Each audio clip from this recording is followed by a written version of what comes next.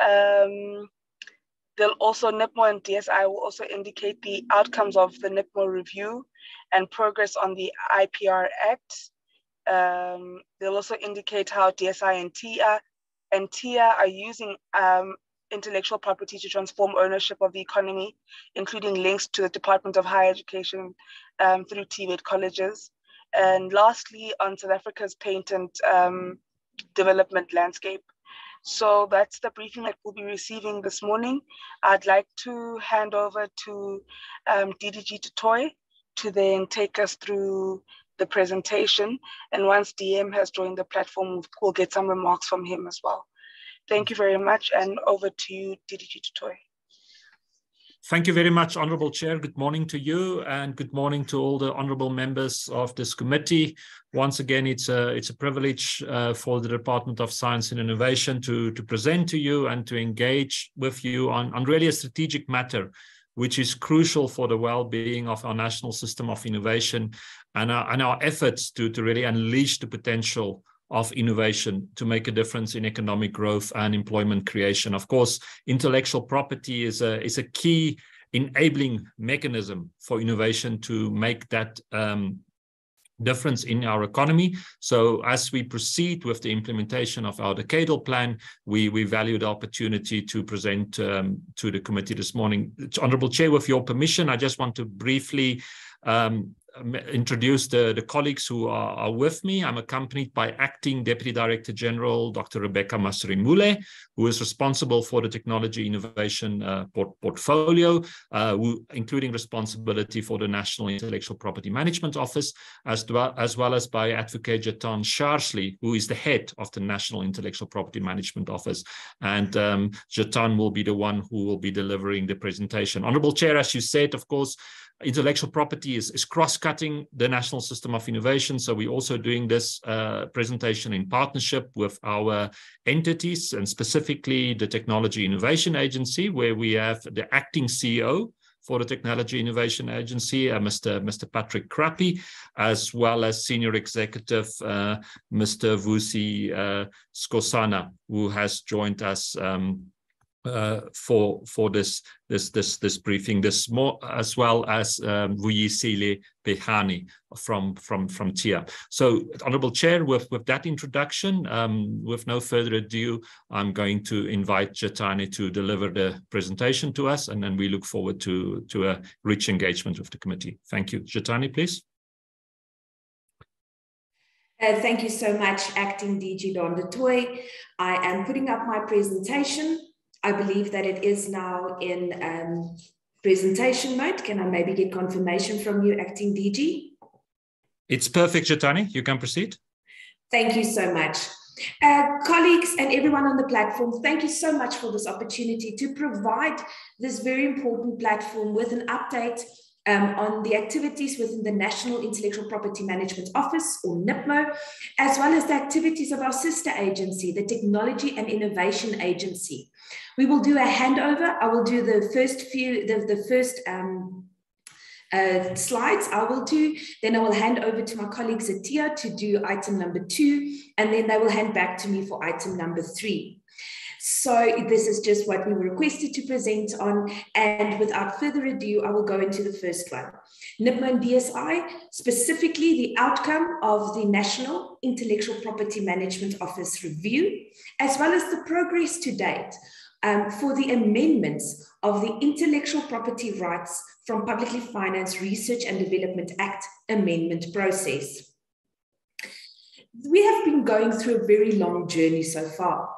It all started in 2010, August, with the promulgation of the Intellectual Property Rights from Publicly Financed Research and Development Act, with the objectives to ensure that intellectual property emanating from publicly financed research and development is identified, protected, utilized, and commercialized for the benefit of the people of the Republic. And with this very great objective and intention, an office of the uh, office was established in 2011. And through various interventions, specifically with National Treasury, NIPMO was established as the first ever specialized service delivery unit in South African government in 2013, with a head being appointed on a permanent basis. This led the way in April for 2014 for the Department of Public Service Administration to approve the NIPMO organogram and appoint the uh, employees permanently within this NIPMO um, unit or structure. In May 2015, the then minister took a decision to develop a framework to assess the impact that the IPR Act, as well as NIPMO, had on the national system of innovation. The TOR was finalized in, uh, the terms of reference was finalized in 2017, and the review or the panel um, started their work in 2017 at the, towards the end of the year. By June 2019, the review panel completed its review on the IPR Act as well as NIPMO and had several recommendations.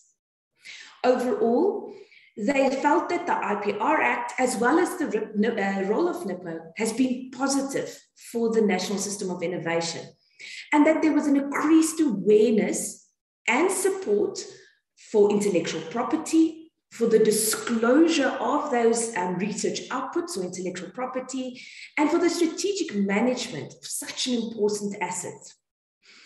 It also found that there has been a positive impact on the commercialization of intellectual property, which emanated from publicly financed research and development. But they did note that this effort can be improved. They have found key problems within the IPR Act itself, NIPMO, as well as the uh, National System of Innovation in general, which may limit the contribution that the IPR Act and NIPMO has in the protection and commercialization of publicly financed research and development. I will delve into these key problems identified in the coming slides. To just complete the journey so far, in December, Minister noted the recommendation, in December 2020, the Minister noted the recommendations made by the review panel and approved the initiation uh, or the, this, this implementation or start of the process for the amendment of the IPR Act to address some of these concerns.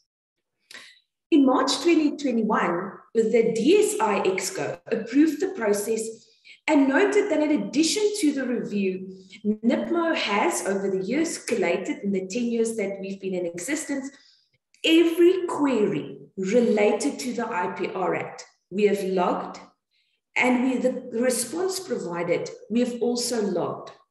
We have therefore formed a like a, a, database of every query that we've received and want to incorporate any amendments that we see might need be needed into the amendment process as well. Over the 10 years, we did not just have the NIPMO review, we also had a NIPMO advisory board that indicated some shortcomings. We had various NIPMO workshops and the NIPMO queries that were all now incorporated into a master document that will form the basis for the amendments of the IPR Act. In 2022, the NIPMO office undertook an online benchmarking study to benchmark with other very similar legislations, including the Chinese, Brazil, United States, and Indian legislations that make provision for the protection of publicly funded intellectual property and how to deal with that. We also, in August of 2020, NIPMO hosted and partook in an informal knowledge exchange workshop to gather international best practice, practices and lessons learned and the countries that participated were the United Kingdom, Brazil, Canada, and Singapore.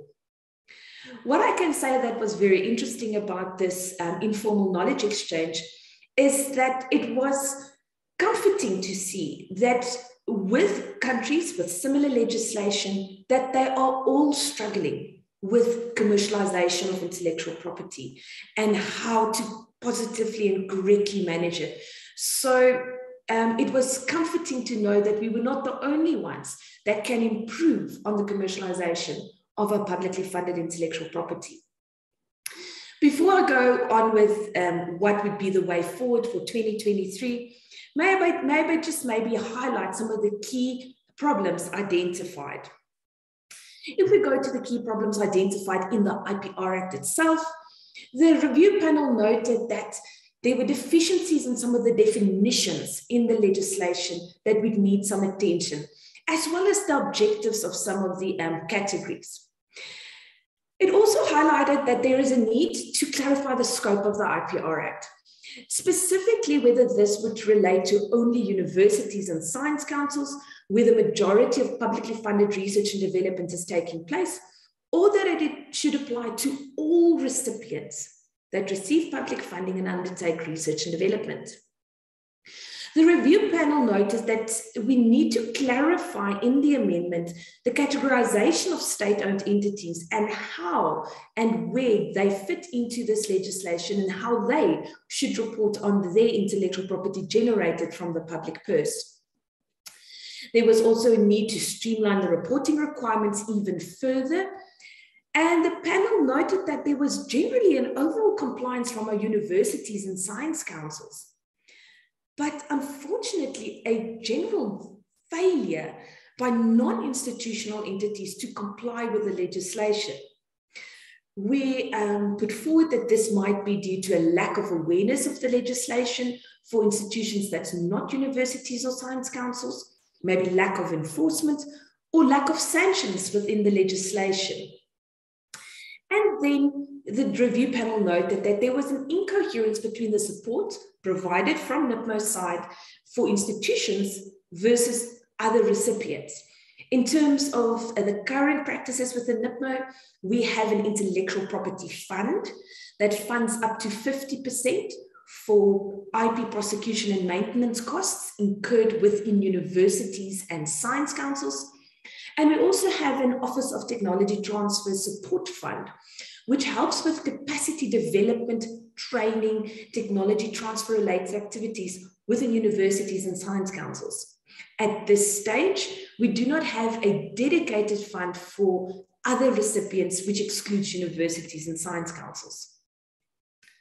Key problems identified within NIPMO itself was first and foremost the institutional structure and location of NIPMO.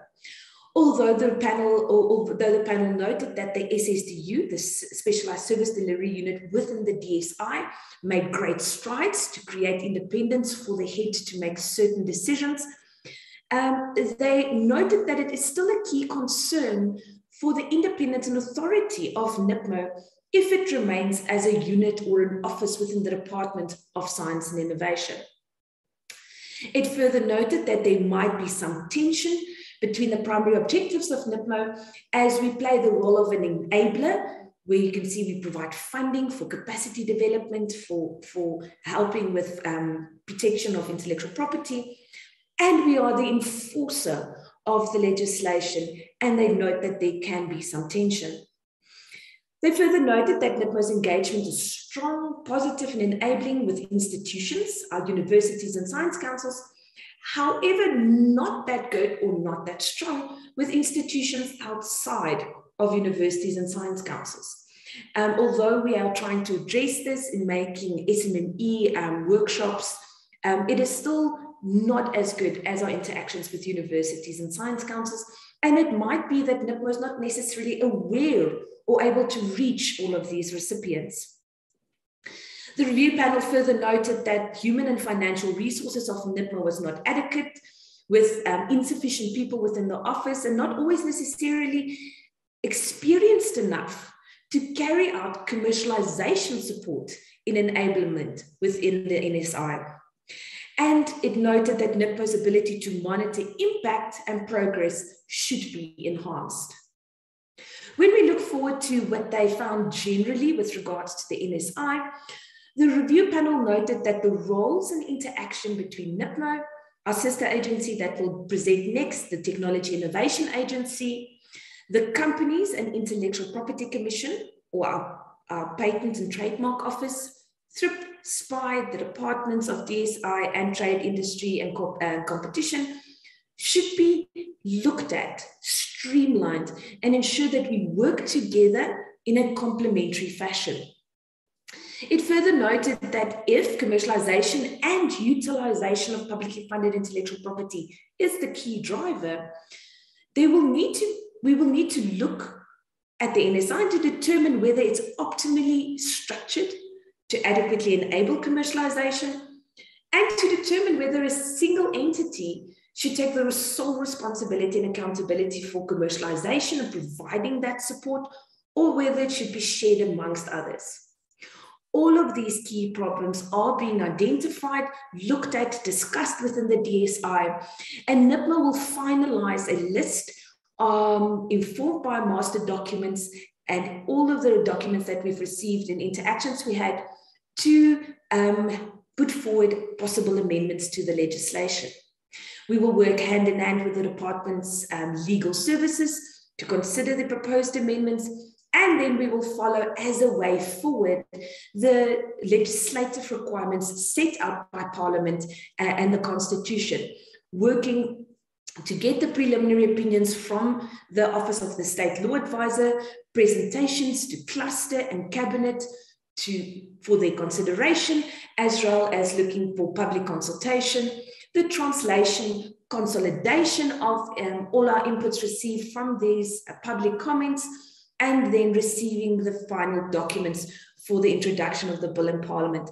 As you can see, this is all very ambitious. Not all of this will happen in 2023, but we are putting forward and starting the process to make concerted efforts and making sure that the, the amendments that we are proposing, that we can look for the unintended consequences, that we can assess where it is needed, and make changes that will last another decade or two. And that was my brief presentation on the review of the IPR Act as well as the proposed way forward. I am now going to hand over to my colleagues from the Technology Innovation Agency to take us through um, item number two on how the department as well as the Technology Innovation Agency are using intellectual property to transform ownership of the economy. Over to you, colleagues.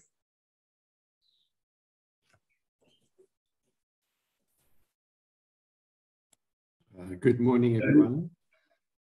Patrick, would you like to, to lead and then I can come in?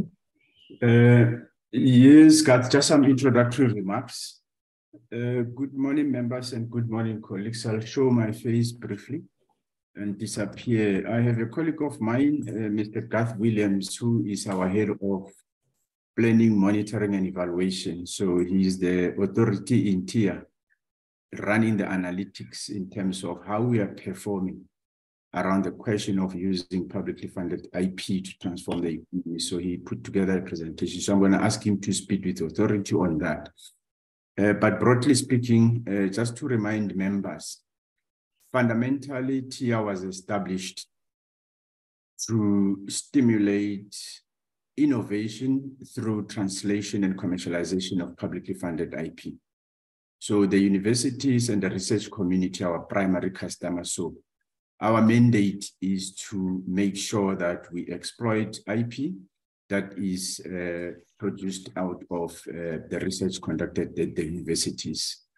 We operate in an economy that has got structural challenges, of course, coming out of the legacy uh, of our history. And so much of what we traverse as we implement this mandate, we remain conscious of the need to do this.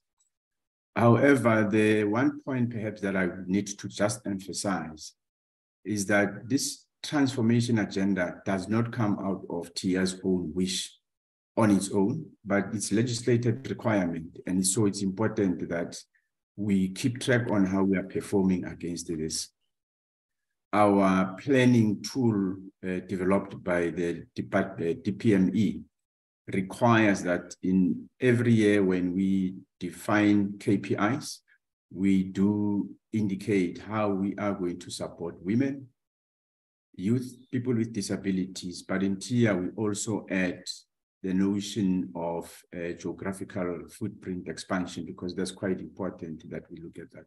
So a lot of the information that my colleague will present will show what results uh, we have uh, from our performance as an organization. So I thought I should just say that um, to say this is how we are approaching all of this. But I've got two other colleagues of mine, three other colleagues of mine who are implementing core parts of the mandate of TIA that can complement this Garth presents. Uh, thank you, Garth. I think you can proceed.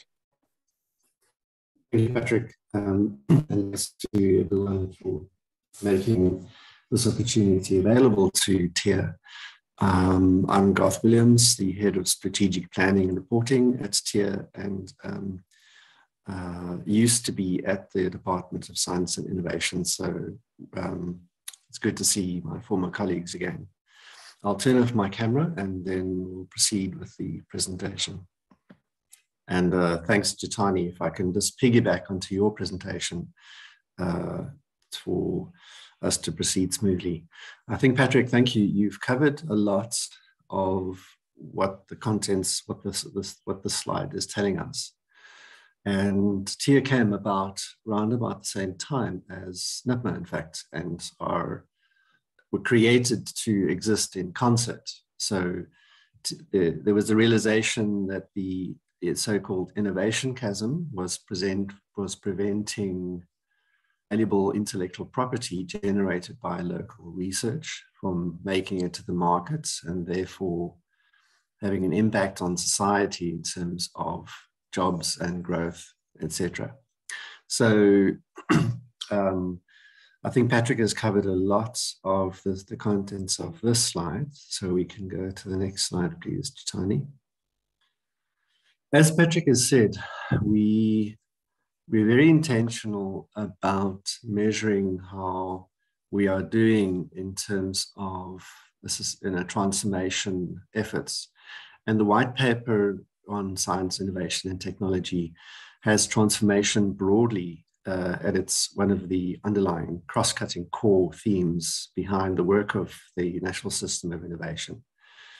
And what we um, have started to do over the last few years is in line with tracking our performance against transformation targets is um, measuring how well we are doing in, at the at the indicator level. So one of the core indicators, the I mean, so the indicators that you're seeing in front of you are one, three of the core indicators you, that TIA uses to measure its performance. And out of that performance, what we measure is the ownership or participation of women, youth, and people with disabilities. Excuse me. And so the three graphs you're seeing um, shows you our targets and actual performance for the 2021-22 year. And that's the, the latest year of which data is available um, and so in terms of technologies licensed or assigned, and this would have been technology coming out of the public funded R&D systems, out of universities and science councils.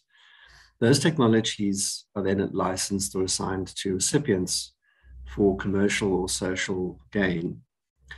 And you can see we're doing fairly well in terms of our meeting our sub targets uh, for women, youth, and people with disabilities for that indicator. Um, similarly, but not uh, as well in terms of the bio-based technologies developed. Um, as the committee may know, TIA has a very strong biotechnology and bioeconomy focus, uh, which is why we have a, a, specific indicator designed to see our impact in bio-based technologies developed. Um, unfortunately, we did not achieve the targets for people with disabilities for bio-based technologies developed. And neither did we achieve our targets for people with disabilities under technologies diffused. Now, the difference in terms of technologies diffused is that these are existing technologies which are diffused into communities mostly for social gain, although they are, they are economic gains that do accrue to the recipients but largely the technologies are diffused to improve livelihoods uh, or health of the recipients. So you'll see we've achieved the target for women, but unfortunately not for youth and people with disabilities in terms of technologies diffused. Next slide, please. The second important role of TIA is to support the innovation ecosystem and um, the science, engineering, and technology supports, which we provide through various funded initiatives such as technology stations are aimed at supporting SMMEs um, as well as large businesses, but primarily um, the SMMEs, which is, as one, as you know, primary engine for job creation in any economy. And here we um, exceeded our targets, uh, sub targets for women and youth, but again, unfortunately, not people with disabilities. Um, a, a proxy in terms of the outputs of our system is knowledge and innovation products produced. These are items like patents and designs and technology packages. And unfortunately, here we didn't do too well in terms of the production of those knowledge and innovation products by women, youth, and people with disabilities. Moving back to the more core indicator, um, which is products launched. And this is really where the, the rubber hits the road. And you see a product being made available beyond just making a prototype or a laboratory uh, technology demonstrator. These are products that are made available and are launched into a market, um, either for commercial, commercial or sometimes social gain. And here we've uh, done well in terms of the sub targets for women, um, just missed achieving the, the, target for youth, and again, unfortunately, missed the target for people with disabilities. Next slide, please. So, so maybe just to um, sum up, and before I move to the contents of this slide, is members may, members may be a little disappointed in terms of how we are achieving, in, particularly in terms of and Tony, if you can maybe just go back to the previous slide, certainly people with disabilities and the youth. Um, and in response, uh, let me just say we are actually going to be launching, designing and launching focused programs that are going to be targeting innovation in support of people with disabilities, the youth, but also women. Um, it's this is a new indicator that we have been tracking for the last few years and what the what it what it tells us is that we could be doing more. We could be having uh, better interventions in this area.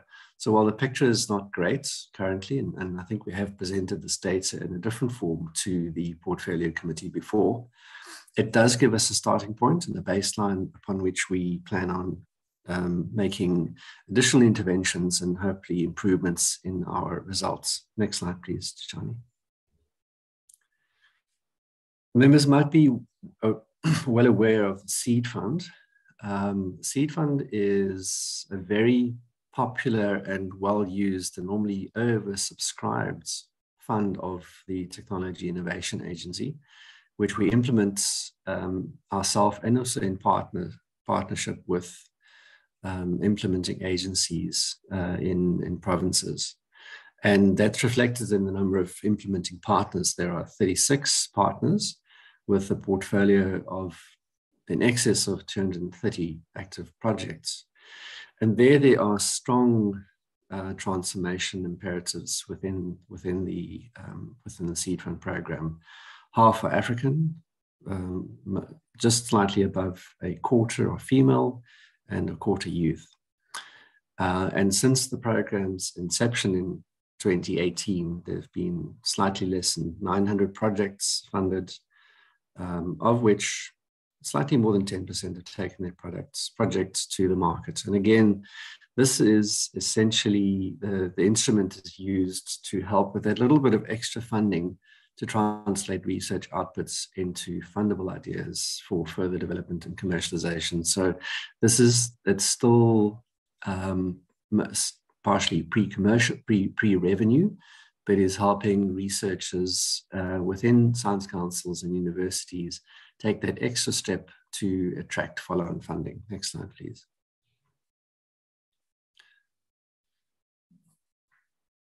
As per the white paper and the, in fact, the original tense, intents of the, the, um, the previous white paper is in terms of having an impact and using science and innovation to have a broader impact on the economy grassroots innovation is innovation that exists outside, largely outside of the formal structures of organizations and institutions and regulations in, in the national system of innovation.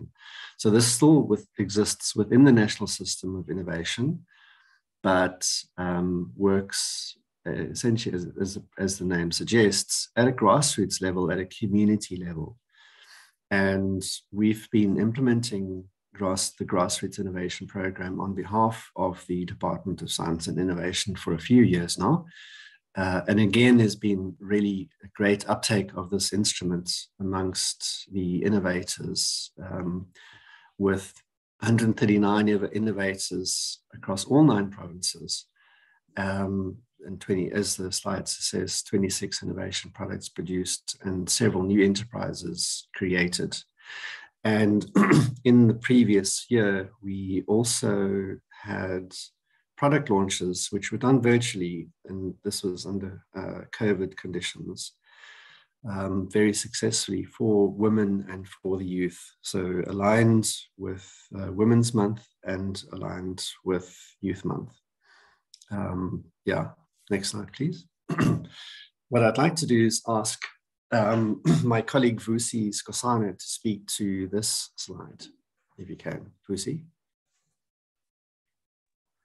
Thanks, uh, Mr. Kat. Honorable Chair, thanks for the opportunity. Uh, this slide was just to articulate how uh, the work of TIA um, through universities uh, that are closely affiliated with NIPMO related to a disclosure of knowledge generated within higher education institution through the technology transfer offices um, as depicted on the Amber box at the heart of, of TIA's work is the network of technology stations. Um, 18 of those across the country at nine universities uh, within the Department of Higher Education and Training.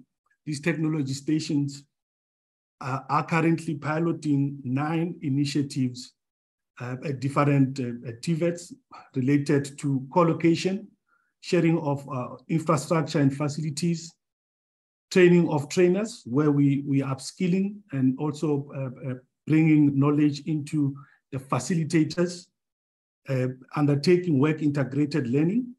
We also make available high level graduates and researchers uh, to be seconded into uh, supporting uh, frontier technologies that can be adopted into various communities and, and, and, and, and uh, within respective municipalities targeting SMEs and industries, those are located there.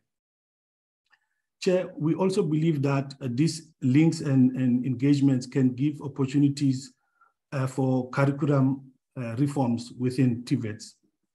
Most importantly, Chair, these uh, engagements with uh, TVETs is more collaborative process to expand into society and community needs where most TVETs and colleges are physically located.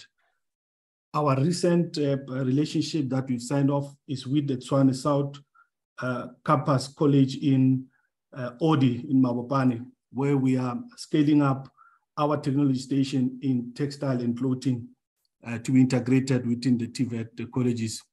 We believe this model, Chair, will uh, facilitate the adoption and the use of um, IP uh, towards our communities uh, where we link with um, colleges that can also be brought into local products and services while we continue to upgrade our critical, critical trades and skills occupation to be absorbed within our communities.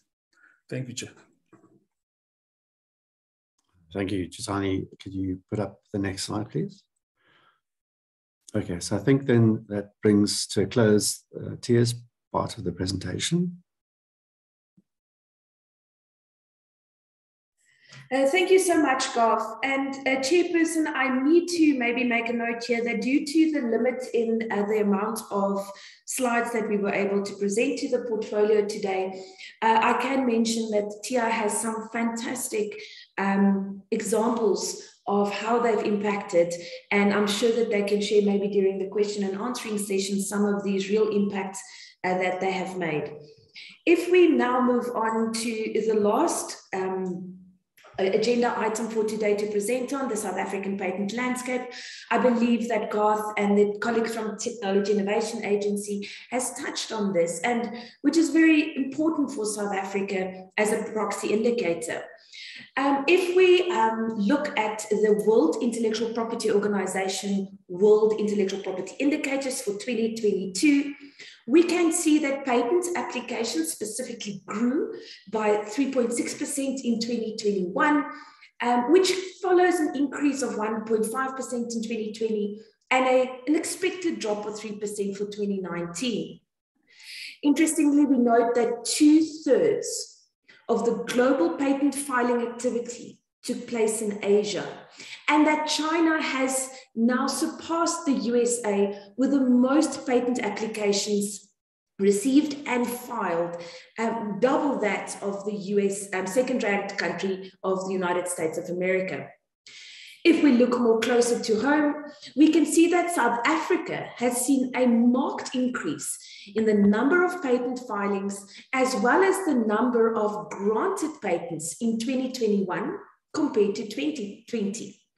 We in fact see a 64% increase uh, in patent filings divided into 45% non-resident and 19% resident patent filings and a staggering 76% increase in the number of patent granted, um, attributed to 69% uh, for non-residents and 7% for residents.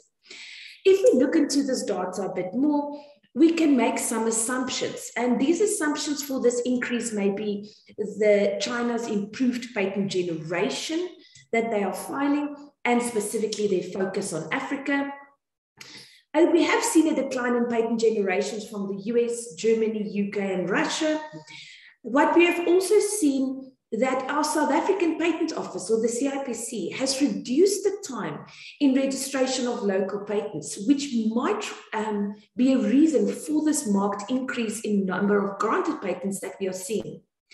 We also know that some of our South African law firms are putting packages together for filing in South Africa and Nigeria called a Sunny patent, a Sunny package, um, which we've seen has been um, quite well received by the international community and which we believe has re, re, um, resulted in the increase in patent filings and granted patents in South Africa as well as Nigeria.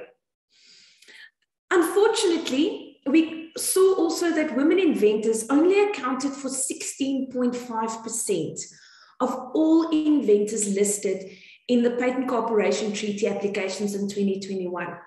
So internationally, we can see that women is well underrepresented when it comes to being inventors uh, in patent applications. Um, as part of tracking uh, intellectual property indicators, the Department of Science and Innovation, together with the NIPMO office, as well as service providers, launched the South African Survey for Intellectual Property and Technology Transfer at publicly funded institutions. This, we have run our second survey, which was published in June 2021. And I'm happy to say that the third survey implementation is well underway. Um, of particular notices that we saw that for the second survey, we had a 100% response rate in, that means that all 27 higher education institutions and the 11 Schedule 1 institutions, typically our science councils, responded to this survey. This survey then covers, the second survey covered the period for 2014 to 2018. If we look at the patent data in more detail, we can see that over the survey period, 81% of our universities and science councils had an active patent portfolio.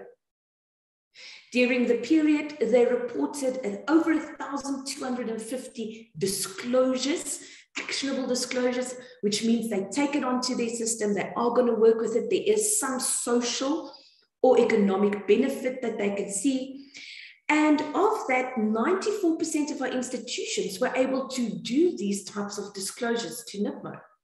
We saw that these disclosures increased by 23.7% and that the total number of actionable disclosures managed by our universities and science councils more than doubled over the survey period from 2014 to 2018. Over 700 patent applications were filed by universities and science councils, and almost 80% of our institutions reported at least one patent application filed. We have seen over the period a slight downward trend in patent applications, and we put forward that possible reasons for this could be an improved capacity within the institutions to conduct in-depth assessments of whether the patent application might be new or novel or inventive. And therefore, with this increased capacity and skill, they will not file something that they know would not necessarily get a granted right.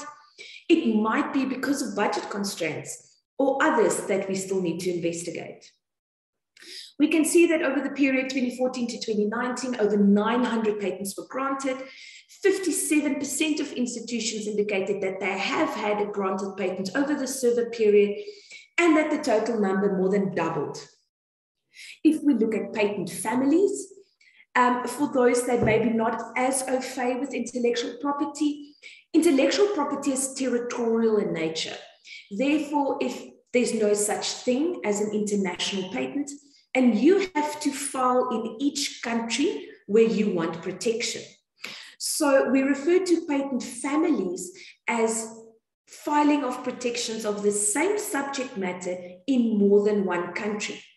So if we look at these patent families, we can see that the total number being managed uh, or granted by our universities and science councils have increased quite significantly over the period and that almost 60% of our institutions reported that they managed one or more of these patent families comprising of a patent granted in at least one jurisdiction or country. And as we can see over this period, the number of such patent families almost tripled. Looking more to IP transactions, startup spin-out companies, and the commercial aspects, we can see that over the period, our universities and science councils formed 55 startup and spin-out companies.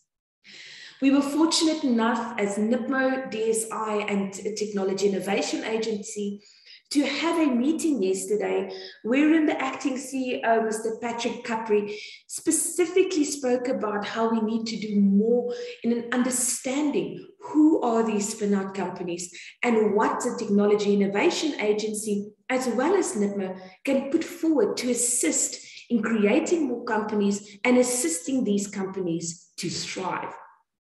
What we see from the survey results is that about 40% of our higher education institutions and only about 20% of our science councils formed startup and spin-out companies. 70% of the startup and, uh, startup and spin-out companies formed were only done by about 11% of the institutions, or four if we have to give a number. On the upside, these startup and, uh, startup and spin-out companies employed over 300 people. And if we look over the period 2008 to 2018, we can see that 100 startup and, uh, startup and spin-out companies formed since 2008, 95% from higher education institutions, and 72 still remaining operational in 2018.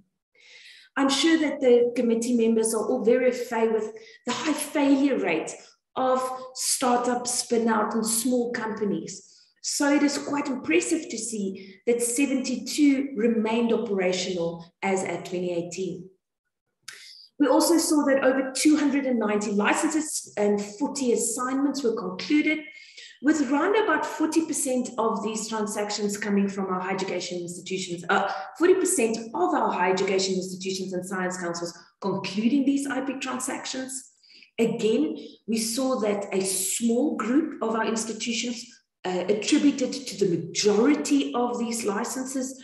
And it is our goal as NIPMO and, and as TIA, specifically with the interventions that they are doing, to empower our other universities and science councils to also conclude more transactions and make impact.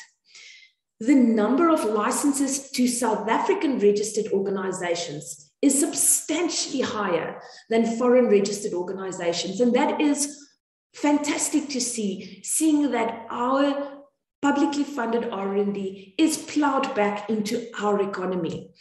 And 22% of our institutions reported that a licensed intellectual property became available for public or commercial use during this period.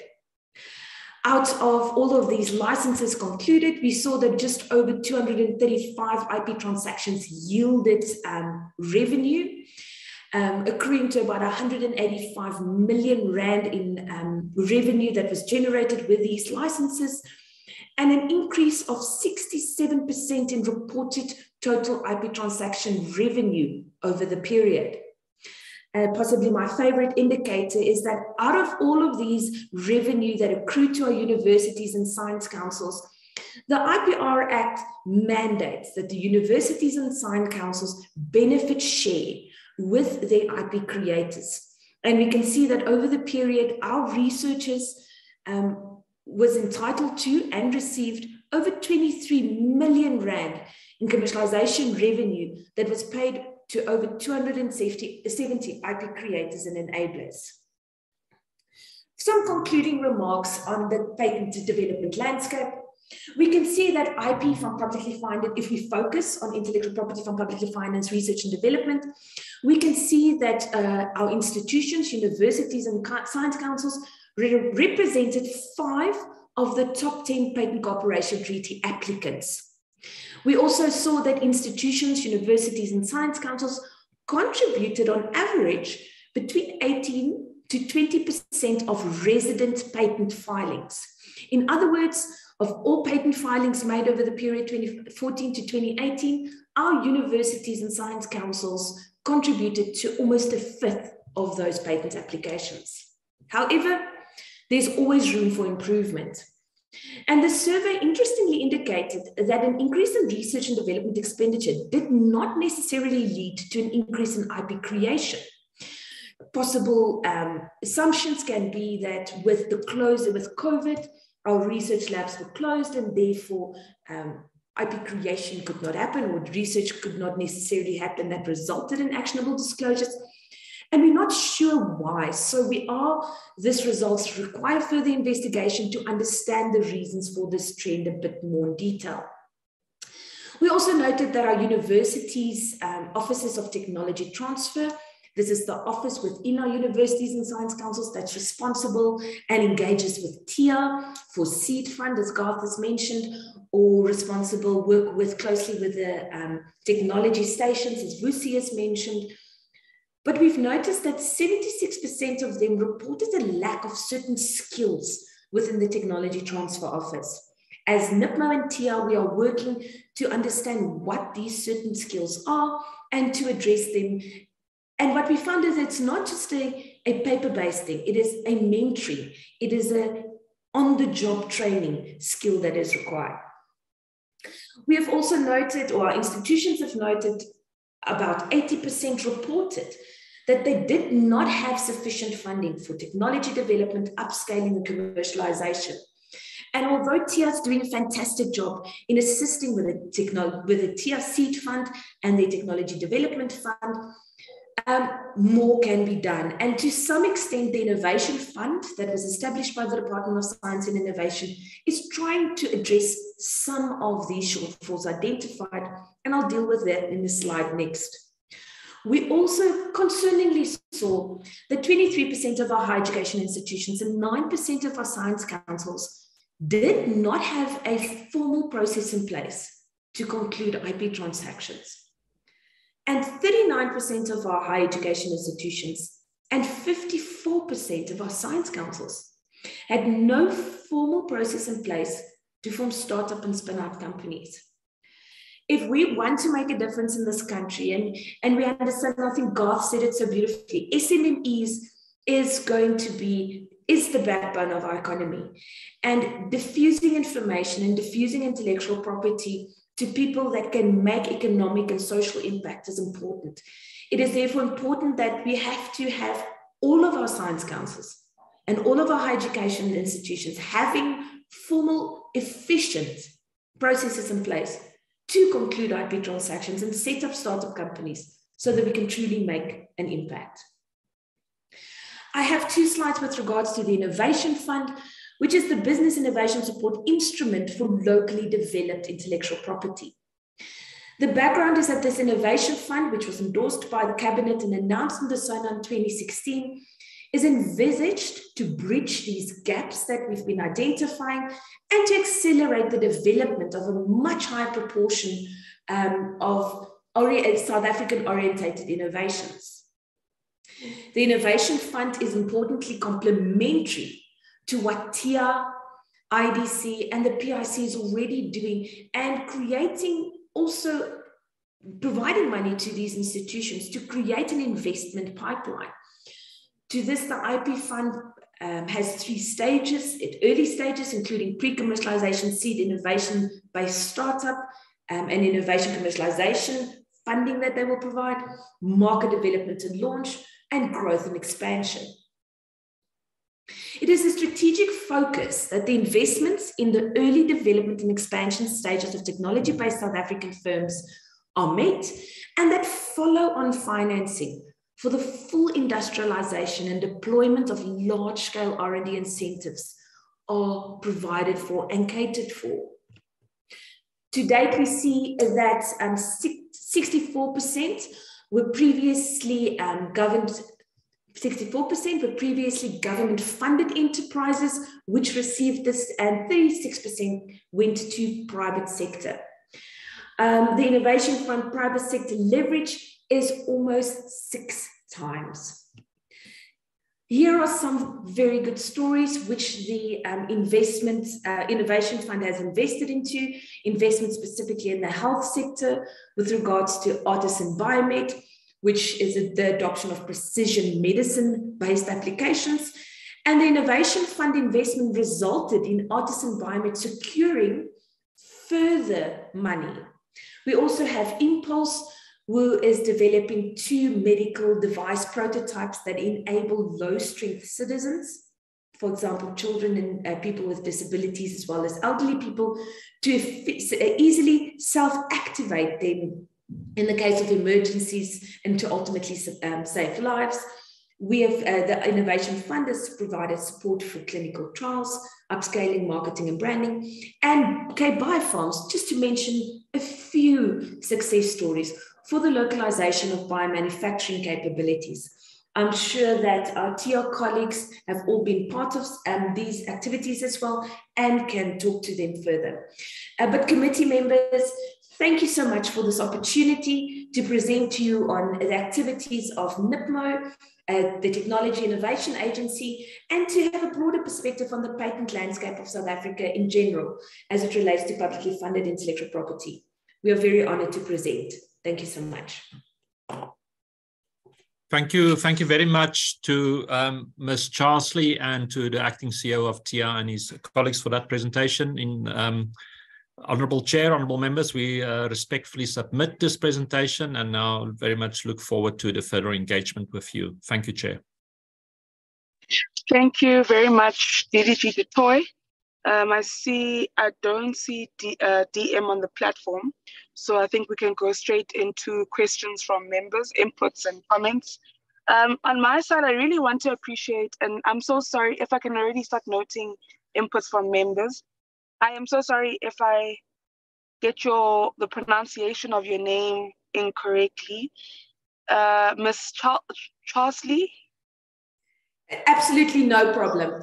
The people in the office call me Jet, so you can anything goes, no problem. okay, but how do you pronounce it? Uh, Jetane. Okay.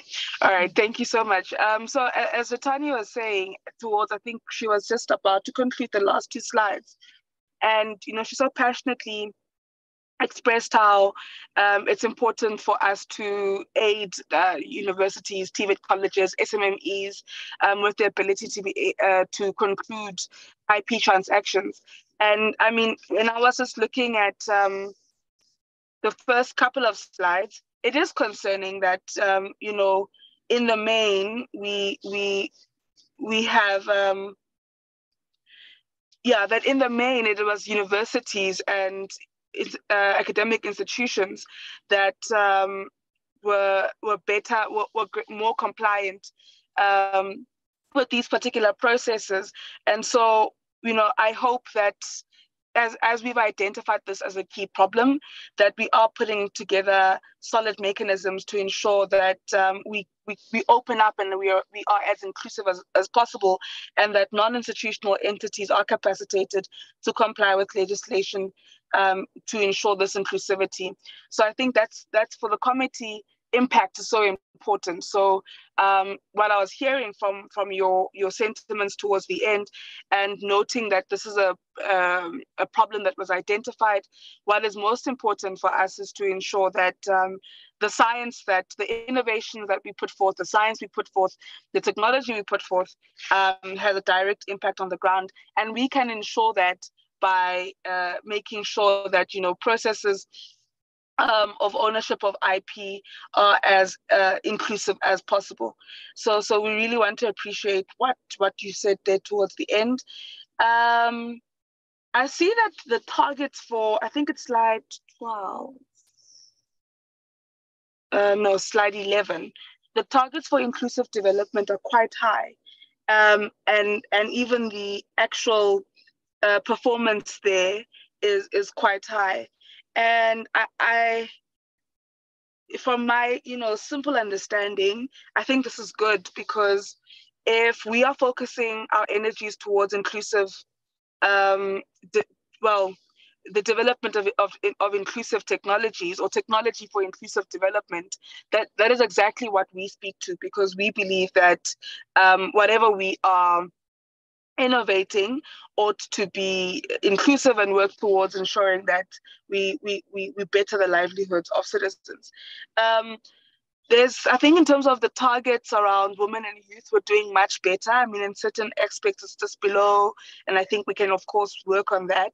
Um, but generally, you know, there does seem to be progress in that regard. We, we, we need to do a lot more when it comes to um, ensuring that um, people with, with disabilities are able to use um, their IP to transform the ownership of, of the economy. So I think we need to just really strengthen um, the, the element of persons with disabilities. Um, and then I want to understand. Um, so Vhembe TVET College, Vhembe TVET College in Limpopo, has a very strong um, are we still flighting the presentation? If we can stop flighting the presentation, please. Okay. The Vhembe TVET College has a very strong incubation hub, and that is something that we we we were so happy to witness as a committee during our oversight visit there. Um, one would, and you know, they were able to take us through how they support their student from gaining the skill uh, to the work integrated learning to um, uh, you know yeah so to the work integrated learning and to conceptualizing their business to formulating partnerships with uh, with you know those who may have capital um, and ultimately also getting their ip and an end. So i mean i know you have tried to give us some sort of uh, idea of how what the interface is. I think it's slide um, 15. But um, I mean, I'd, I'd want to know if, if colleagues are aware of the work that's being done at Vhembe TVET College and if you, you know, um, have well if yeah what, what is the interface there if if they if there is one that you are clearly aware of and how can we sort of replicate that um, across other TVET colleges. I hope I'm making sense. um, I see Honorable Mananiso's hand is up. Honorable Mananiso, Honorable Boshoff. There was another hand that was up. There were three hands. I think it was Honorable Sibia. Um, and I see Honorable Chachal. Honorable Mananiso. Okay, uh, thank you, Chairperson. Uh, let me start by reaffirming that you, you are making sense in terms of what you have just uh, presented as clarity seeking questions. And I must uh, actually appreciate all the three presentations. And Chair, one would want to just alert the department that at least during our oversight, we were actually impressed about the work of TIA because of when we do oversight, we always emphasize on the touch and feel and see of these particular programs in, in our in our basis. So I would want to just uh, make them aware that at least we, we saw some of their work, as you indicated uh, uh, about the Vhembe College. Uh, Chairperson, I, I think one would want to indicate that on the issue of inclusive technology, we, we, we cannot speak more about because of every time when we meet with DSI, that is one of the part that we think that transformation is on a slow pace and it's as if the department is not committed. I like what you said when we met with the head to say it is important that when we speak about social compact, we're not speaking about uh, the private sector, but us as department. So I, I think um, DSI must check with SANRAL in terms of what is it that they are doing to make sure that they include people with disability. Because of with them as well, they've been having a like they, they, they've been not addressing the issue of equity in terms of people with disability. But now, with their program of going to the ground and ensuring that they mainstream people with disability into their programs, it starts, they start now making sense that the department is for all. So it is important that as departments as well, we must check in terms of innovations by other departments on uh, actually responding to equities. What is it that we can do? And I want to appreciate as well that indeed, in terms of women and youth, the department is doing well. Uh, we are moving to the right direction. Chair, uh, my question is with regards to TIA linked to, D, to TVETs. They, they indicated that they've got uh, nine initiatives. Can they indicate to us what are those specific in, uh, initiatives and as well, if possible, they must give us a breakdown of the demographics, including the as well the, the, the locations of, of, of those people per province specifically. And uh, on slide four, uh, when Jan, uh, the lady was presenting, actually, I, am not sure about the, the name as well. Uh, there's a present on the presentation, there's an indication of informal knowledge exchange program so I can, she come, can she explain in terms of what type of a program is that? Because I, I, I think for me, when something is being noted as informal, it's as if it's a by the way. But if she can enlighten me in terms of what is actually, uh, what type of the program is that, I'll be happy.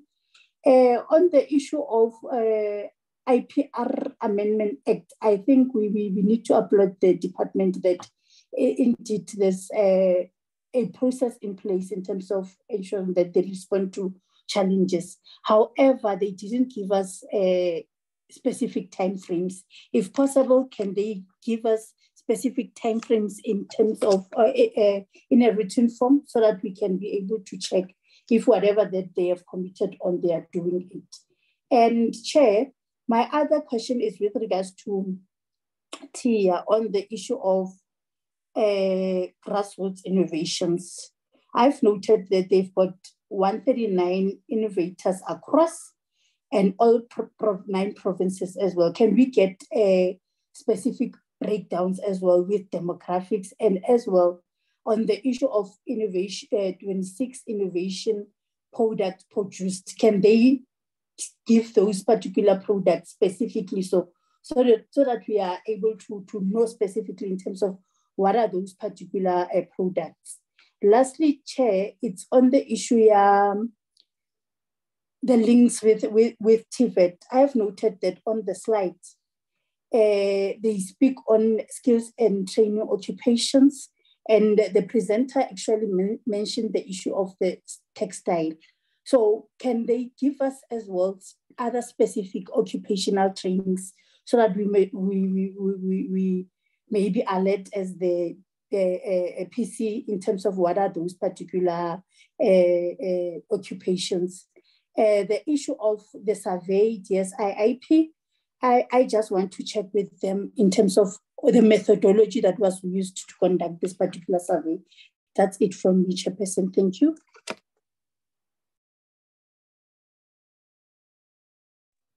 Thank you, Honorable Mananiso. Sorry, colleagues, I'm using my phone, so this takes me a bit of time to then move back to, to the platform. Um, thank you, Honorable Mananiso. Honorable Boshoff, can I also understand what it means when we say on slide 17, when we speak of non-residents? Um, yeah, Honorable Boshoff. Okay, I think Honorable Boshoff got kicked off the platform. Um, Honorable Sibia. Thanks, Chairperson. Uh, greetings to everyone. Uh, thanks for your presentation, Chair. Uh, I would like to know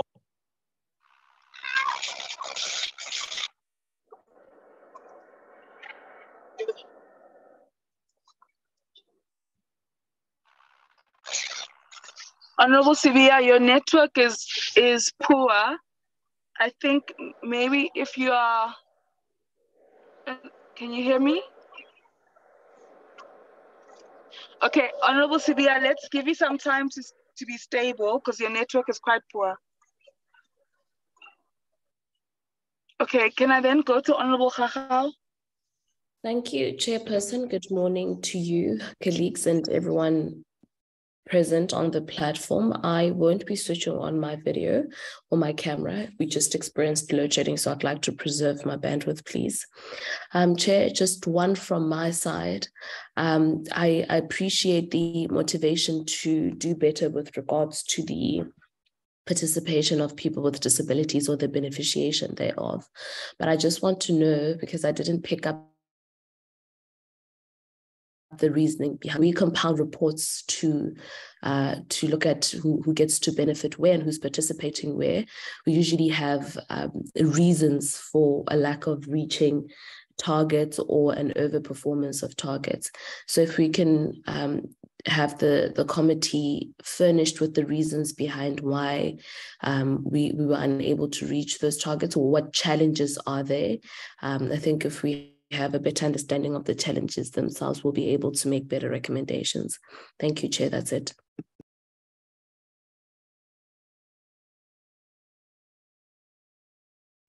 Thank you, Honorable Chachal. Honorable Chirwa.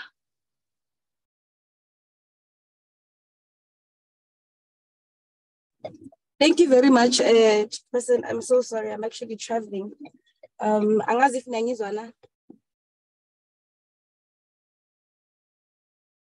We can hear you. Okay. Okay, thank you very much, uh, even for the presentation. I think I share um, the concern of, of inclusion, but I think I want to ask in this direction, particularly on how informal communities, for lack of a better word, um, are being involved as, as stakeholders in the conception and development um, of particularly of the grassroots and innovation program. Um, I'm asking this because, you know, in as much as we are saying we are transforming the economy for, for new stakeholders in the economy and all those things, uh, we have to take cognizance of, of, of stuff like the township economy, for example, um, and how we are not only just bringing them on board, but acknowledging acknowledging the kind of um, of uh, the magnitude of the constituency that particular industry comes with, and to not be intentional in including it is the same as as as as really just suppressing that particular industry, which is really unfair because of the kind of um, uh, the kind of contribution it has to do, do, or give to our economy. And secondly, I want to find out how many of the 872 find, funded projects um, are projects that are led by women and, and by the youth. And also, if you just let us in on the demographics of the 139 innovators across the nine provinces on how those look like, because then otherwise, uh, the rhetoric about you know inclusion and oh we are doing this working towards this really just becomes rhetoric on written paper and not anything that is that is being done intentionally like things like oh women's month or youth month uh, just acknowledging those particular tenets is not enough they need to be reflected in the kind of work that is being done as well.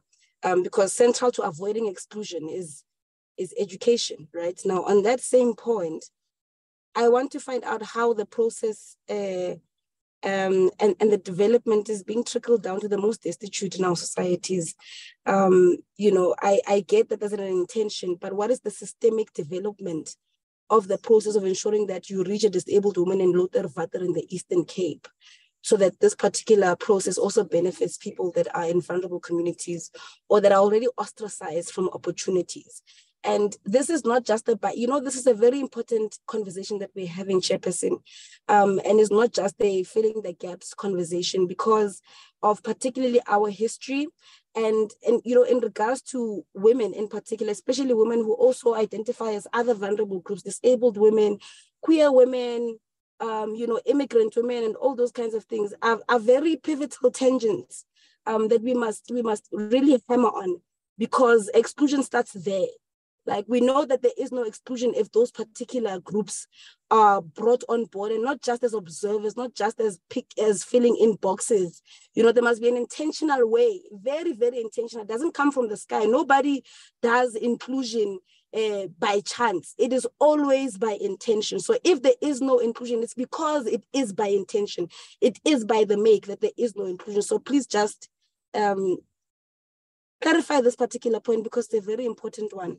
Um, and and and the, the reason why we are even here as a country where women even earn less, you know, despite the fact that our constitution is saying that women must be equal earners and all of those things, is because of such things are overlooked. It starts here. It starts here because now many years um, post this particular process and this particular moment, um, there's going to be a big group of people that have less uh, knowledge on this particular process developing and then lose interest because there's then four players at the at the in the forefront who are primarily men who are spearheading this thing because they got the information as early as possible. And then they also get uh, hailed as people who are more who are expertised in an industry in a field not because uh, of, of of the fact that there was an intention to be there but because access to information came freely to them as opposed to people who are already ostracized who are already vulnerable um, who are already you know like disadvantaged. And and and the fact that we are speaking about on this particular level really you know it's it's it's quite saddening to be quite uh, honest with with everybody, especially the, the, department as well, that we are still having these conversations that guys, why is there no inclusion? Really, that's that's the conversation we are having. And this is the regression as well, because now we we must first deal with the fundamental, the most basic things.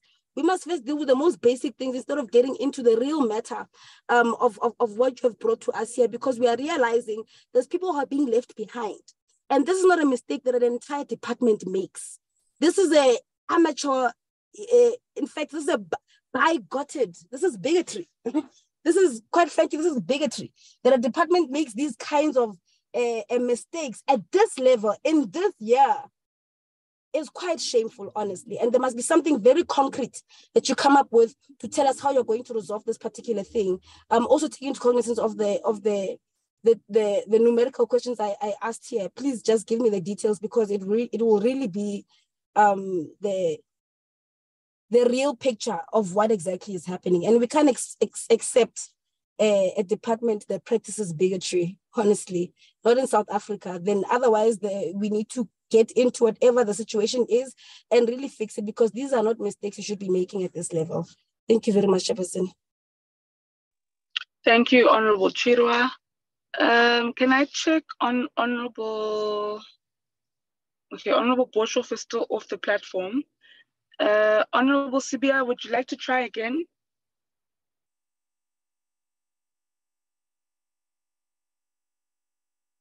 Okay, I think then we are fine. Those are then the comments and questions um, from members. Um, I, I would like to understand um, from my side if there have been specific timeframes that have been uh, put against the actions listed on slide eight of the presentation in relation to um, the amendment process of the IPR Act. So what are the timeframes? Have we put any timeframes in relation to that? And then is there a correlation between um, the provisions of the Act, of the IPR Act, and you know discussions. I mean, I think recently was it this year? No, not this year. It was last year.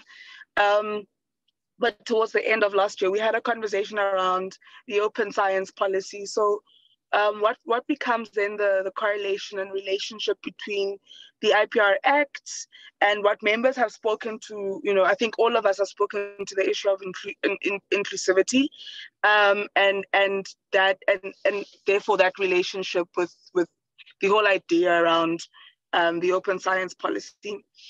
Um, and then there's a lot of articulation around NIPMO, well, under the challenges raised, is like articulation around um, NIPMO's resources, but also the politics, I think, between, um, yeah, there's some politics around, around NIPMO being uh, the enabler and the regulator.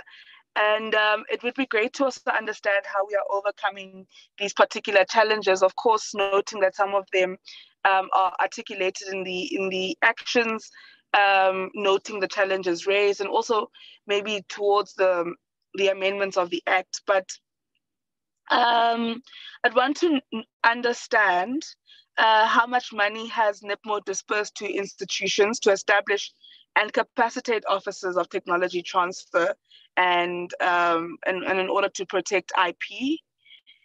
Um, and then perhaps also sorry my notes are all over the place um yeah i think i'll leave it at, at that i've spoken to the issue of how we are working around um nipmo's capacity and its resources i mean for example when honorable chirwa says like you need to get to the ends and widths and breadths of South Africa. Who figures Lalini that you know even South Africans themselves don't know. And I think for me, I often think of the Northern Cape. You know, just having traveled across the Northern Cape during our oversight last year, there are many places that are so hidden, many communities that are so far, and such a vast province. And that you know, in order for us to really um, speak this inclusivity into existence, we will need the capacity and the resource to go into every corner of South Africa. Um, and and so you know how are we doing in terms of of our resources to be able to to achieve such um, yeah i think i'll leave it at that for now yeah I think I think let me leave it at that for now. Um, so let me hand over to you then, DDG du Toit and the team. Yeah. Thank you. Thank you very much, Honorable Chair, and, and thank you very much to all the honorable members. Uh, as, as always, we, we greatly value this engagement with the members of the committee. Uh, thank you for those rich set series of comments and, and questions, uh, the words of encouragement. Uh, I noted, uh, Honorable Sibuletswe, the, the words for your the committee's appreciation for, for the work of TIA following your oversight visit. But then, of course, members of the committee rightfully insisted on the imperative importance of transformation of inclusivity i can i can assure the honorable members that that that's also the the the leitmotif, the, the driving force of, of this department under the leadership of, of our minister. It's what is, is espoused in the values of our constitution and indeed in our new decadal plan. That is the commitment to transformation unequivocal. The DSI has a dedicated transformation framework, but of course we can do better. We accept that and, and we look forward to uh, engage with the committee for your guidance to ensure that, that, that, that we deliver on those ambitions because our mission is to make sure that science and innovation has concrete co concrete impact in improving the quality of living of, of, of, of, all South Africans. And for that transformation of the of the of the system is is imperative. We commit, uh, Honourable Chair, um, many members of the the committee have, have asked for for detailed specific information in terms of demographic, geographic breakdowns of, of beneficiaries and and we will provide that that that that information um, as as appropriate. And also where where if we perhaps do not get into the the detail of the discussion today uh, we can also provide more detailed narrative with regard to the attainment or the non-attainment of specific performance indicators. Honorable chair what i would like to to do now with with your permission is to first invite my colleague Acting Deputy Director General, um, Dr. Rebecca Maserumule, for some introductory remarks. The innovation portfolio is part of her portfolio in, in, in, in the DSI for, for her reflection, and then revert to Ms. Jetane Charsley, who can speak specifically to the different questions um, posed pertaining to the NIPMO portfolio as well as the patent landscape. And then I will invite the acting CEO of TIA, uh, Mr. Patrick Krappie, to lead us in the response to the questions which pertained to TIA, after which, um, before reverting to you, then I will make some concluding remarks. So um, Rebecca, if, if for, for your remarks, please. No, thanks, Acting DG. Um, um, I'd like to first start up by saying um, just to express my gratitude for the comments from the um, PPC. Some of the comments have been positive, so I was grateful to see that um, you gave compliments to Tia. I, I think they've been um, they've been receiving a lot of harsh comments over the last few years, but I think I think just gratitude that you acknowledged um, the good work that they're doing, and I think they'll take that positive comment with them as they work to improve their organization. Um, I think in terms of the issue of transformation, um, more specifically towards um, issues of persons with disabilities, I think to be honest with you, we really have struggled with that target. You know, we've started a process of collecting information from our implementing agencies, um, you know, that manage some of our large programs, um, our research programs, and even our implementing agencies we're finding are struggling with even meeting the requirements um, of, you know, the percentage of persons with disability. This is something that we have given them as a as, as a, a target of, of um, emphasis for over the, the, the, near term that they need to really start focusing on, you know, how do you actually increase that number? You know, we've done it in the past with, you know, person, you know, women, um, persons of color, but I think you're going to need specific programs, very specific to um, support persons with disabilities. And I think we can do it successfully. So I, I think in terms of the comment from um, um, the Honorable um, Chirwa uh, around, you know, how do you deal with the, um, what we call maybe informal or not as formal um, communities as beneficiaries of grassroots um, and systemic development process. I, I, think that comment is something that we don't necessarily have an answer to, but I think um, again, this is um, your ref your reflections are important to us in the sense that now we need to go away and come back with a systematic approach to deal with these communities. Um, I think really the the response in some cases are is is ad hoc, is not as systematic as we would want it to be, and this is something we're going to be looking at. Um, and I think um, in terms of um, overall comments, I'm going to let Advocate Tani um, really respond to some of the detailed questions around the work that she's doing with um, that we're doing with TVET, as well as some of the comments around the specific um, project management um, or the targets linked to the amendment of the IPR Act. Thank you. Jetane, floor to you. Thank, Thank you, Jetane, please. Uh, thank you so much, um, Chairperson and colleagues, for this opportunity to respond to the queries.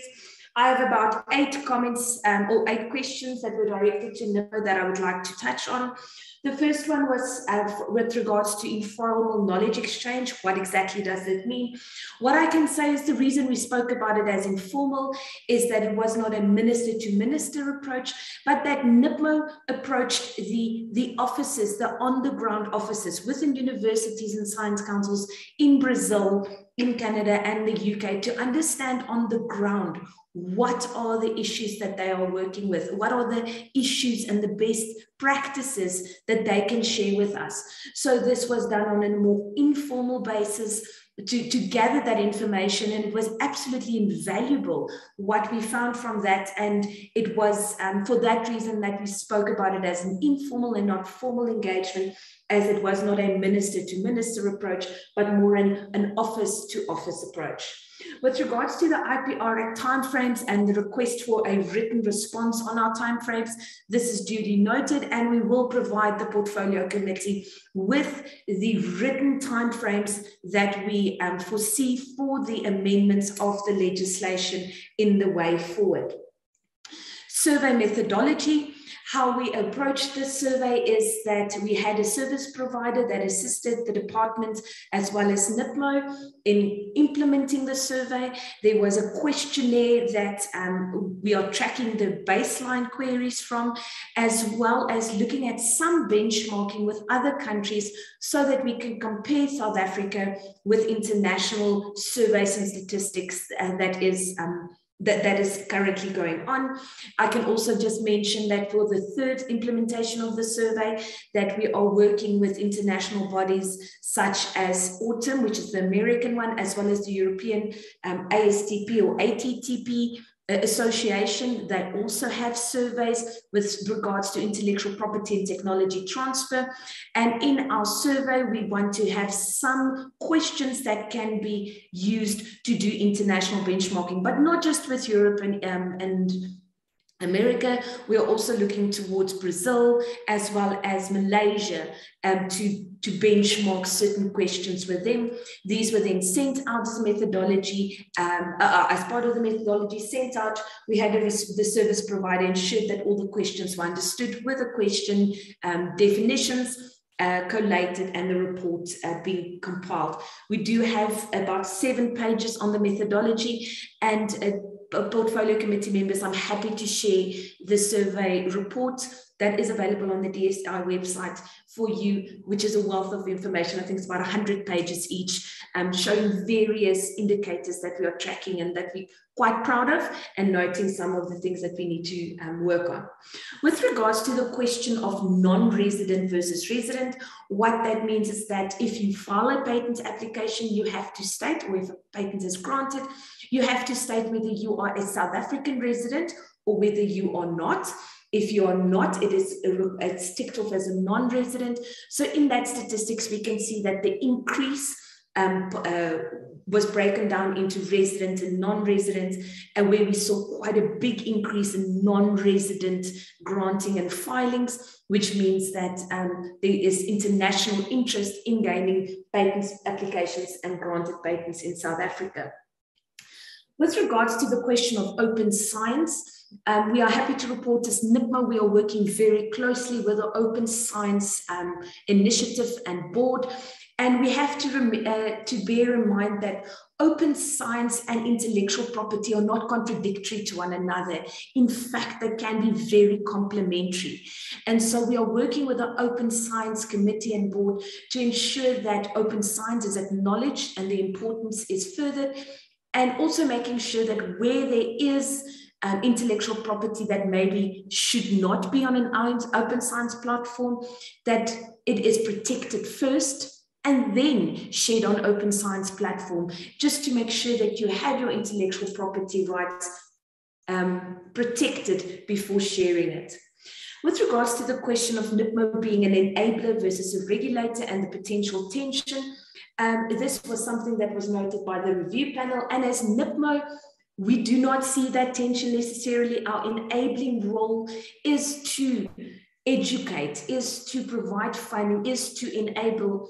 And yes, we do need a regulatory, uh, regulatory uh, process to enforce parts of the legislation. We are fortunate that we have, as part of the legislation, a dispute panel, an independent dispute panel that is um, that is appointed by minister to ensure that when there is an aggrieved party or where they feel that NIPMO has not made a correct administrative decision, that they can put forward that to the dispute panel for adjudication. Fortunately, in the past 10 years or 11 years, we have not had any use of the dispute panel or need that the dispute panel have uh, had to. Um, oh, there was one case, my apologies. There were one case, but we were able to um, deal with that case amicably between the parties and get to a conclusion that makes impact for the society.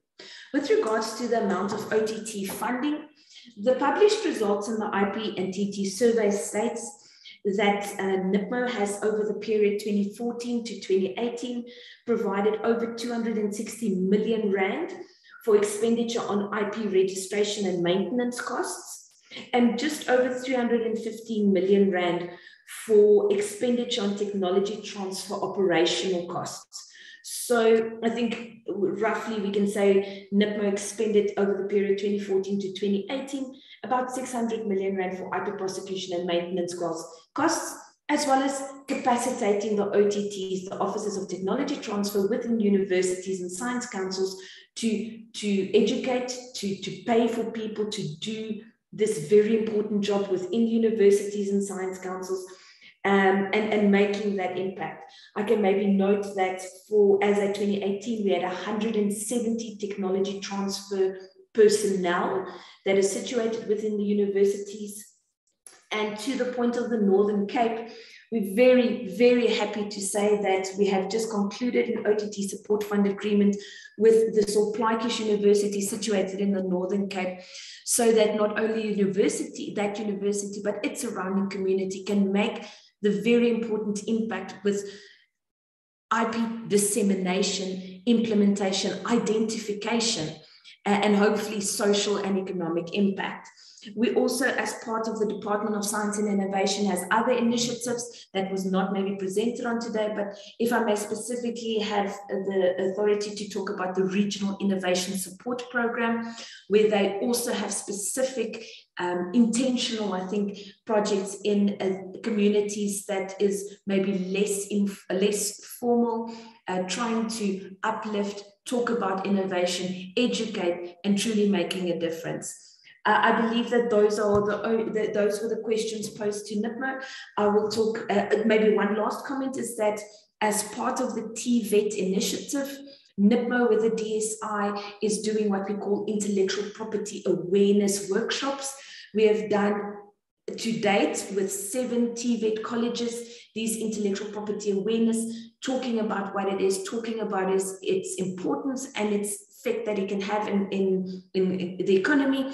And this is something that we will be doing ongoing to talk about intellectual property within our TVET colleges. We are also, as NIPMO and the DSI, uh, securing various um, memorandums of agreements with these TVET colleges to further education uh, with regards to intellectual property and intellectual property management.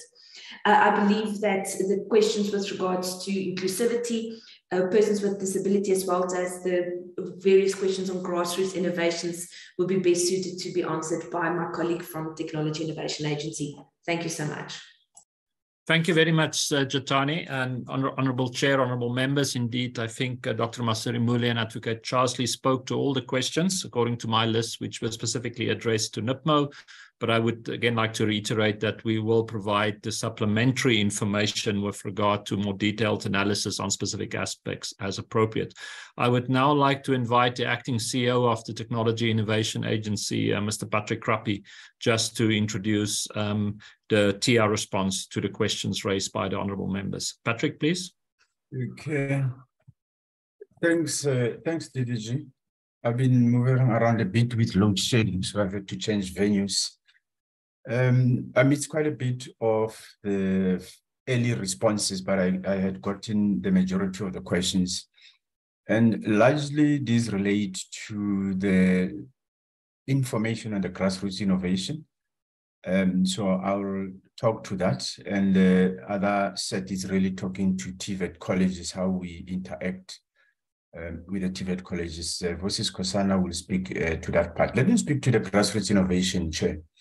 We presented, as I recall, to the committee led by the uh, DDG as well. Uh, I think it was uh, DDG Mmboneni Muofhe from the department on 25 November around the grassroots innovation program itself, together with one of the other instruments within the Innovation for Inclusive Development program.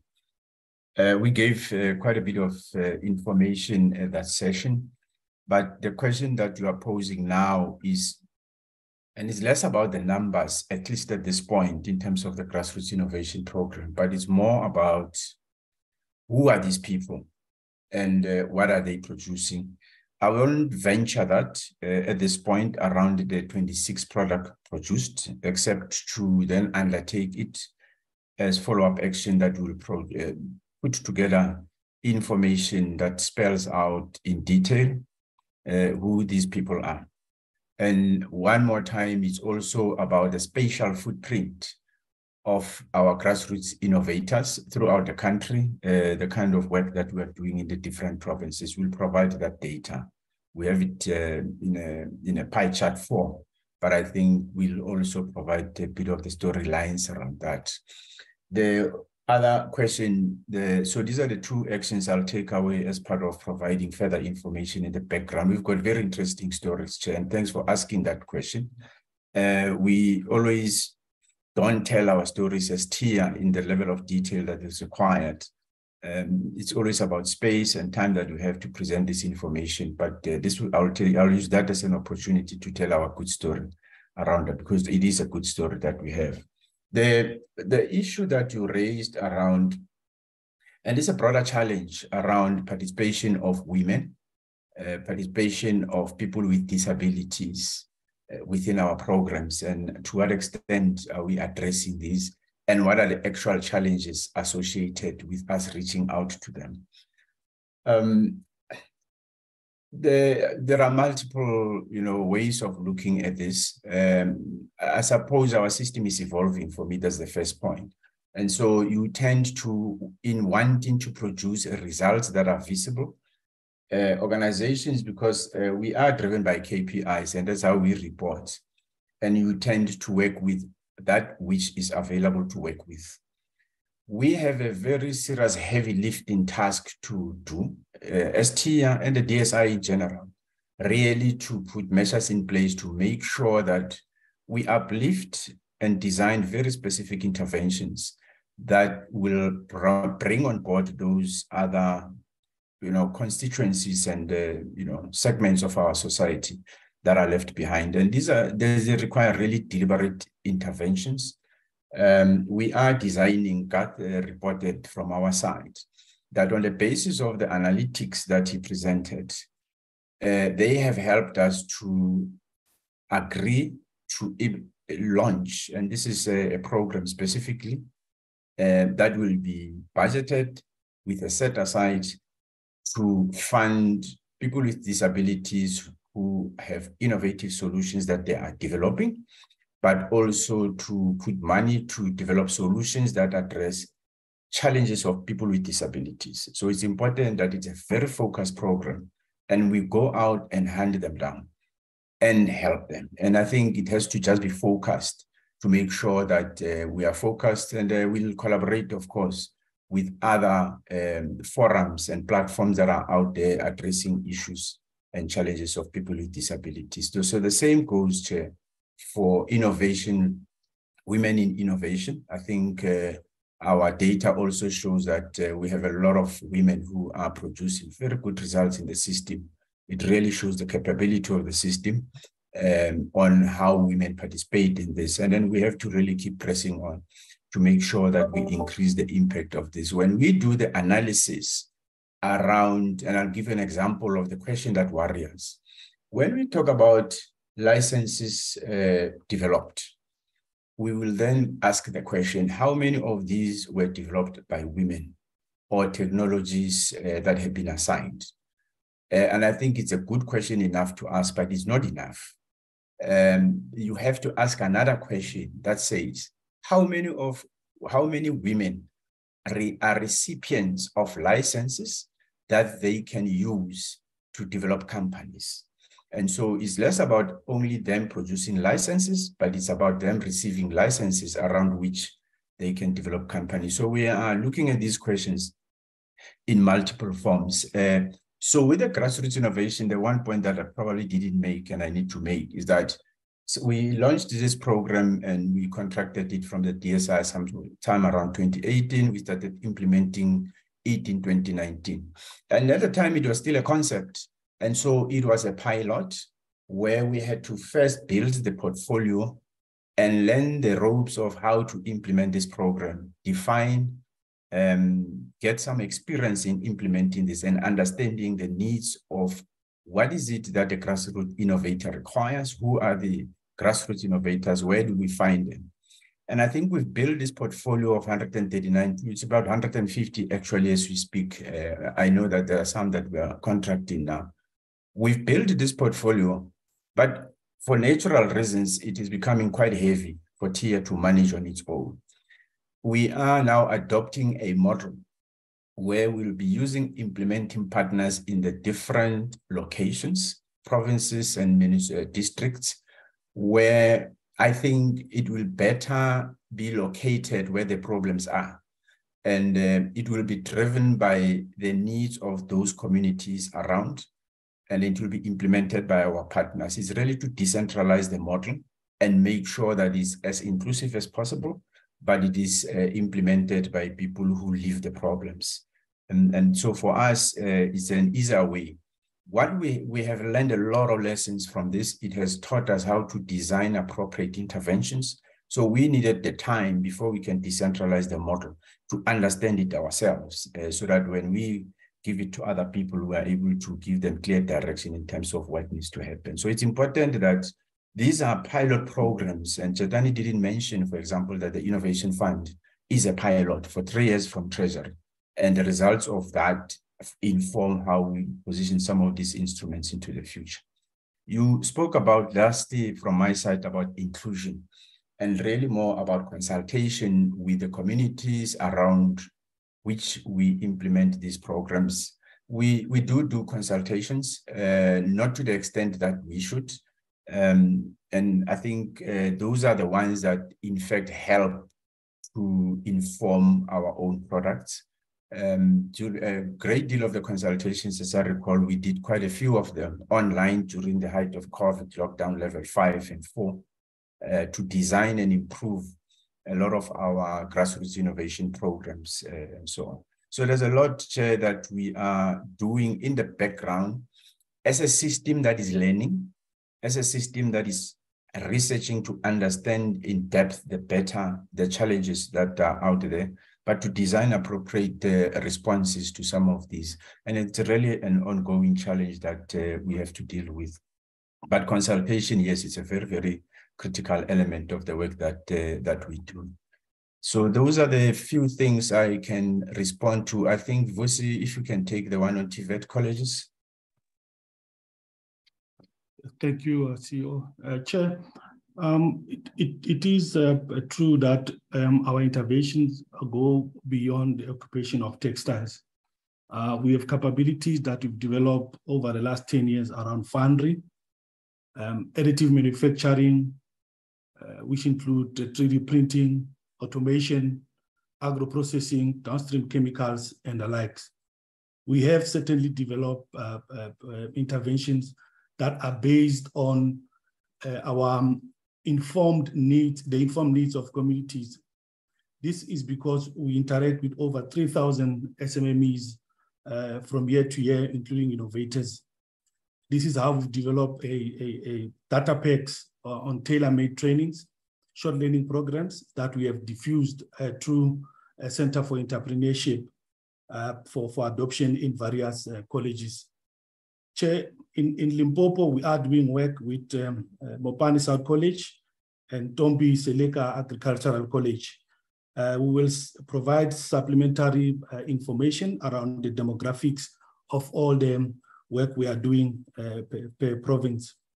I think, Chair, most of the questions were articulated very well by the CEO uh, around the need uh, to go, go beyond a needs-driven, but rather a systematic response in institutionalizing the work that we do uh, link with TVET. Thank you, Chair. Thank you very much to uh, again to Dr. Maserumule and Advocate Charsley and acting CEO and Mr. Skosana. Honorable Chair, I, I do believe that uh, the colleagues, according to my list, have been have addressed all the specific questions um, raised by the honourable members of the committee.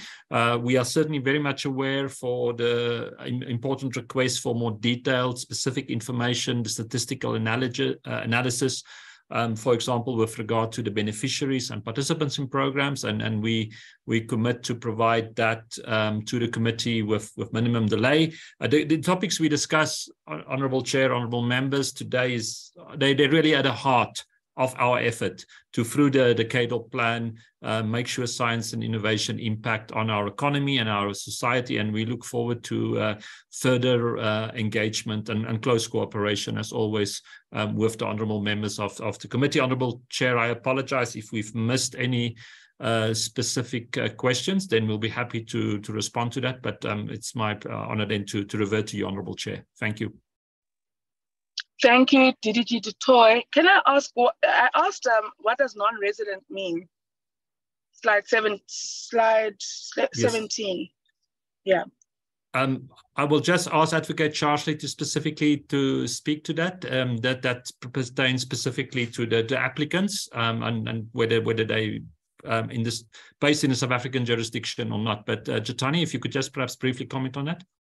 My apologies, Chair. I believe I did touch on it, but let me maybe just reiterate. So, um, as we know that uh, applicants that can file for patent applications and granted patents in South Africa, if you file for a patent application and a granted patent in South Africa, you need to indicate whether you are a South African resident or not.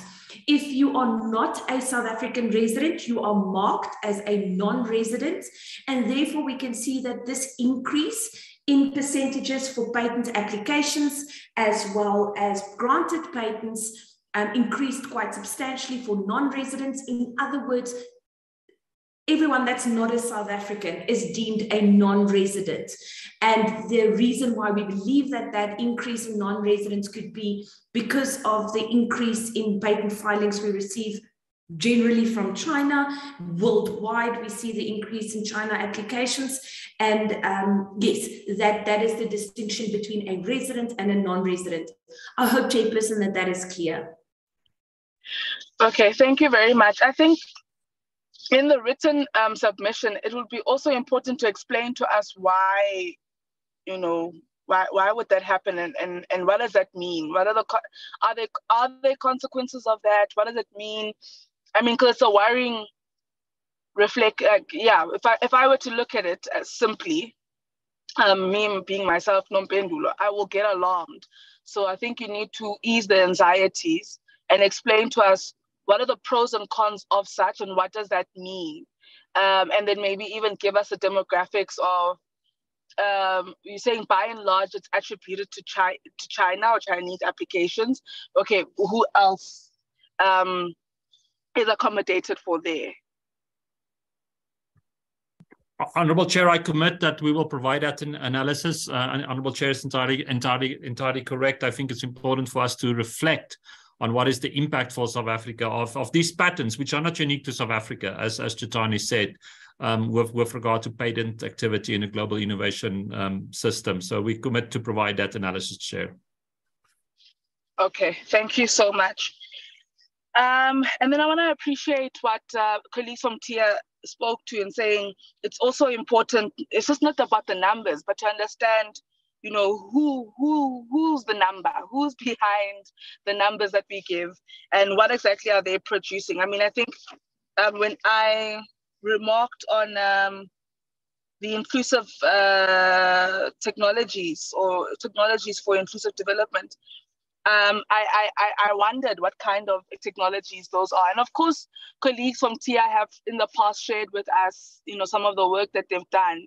But it, it would be interesting just to get an idea of, of, of, you know, a couple of those technologies, just so that we can also, you know, I always say to colleagues, the portfolio committee has a role of bringing issues that we identify from our communities or our constituents to yourselves, but we also have the responsibility of taking the information that you share with us to the people so that we can say this is the work that TIA is doing and this is the impact that it has um, in our communities. So um, that's that's one aspect.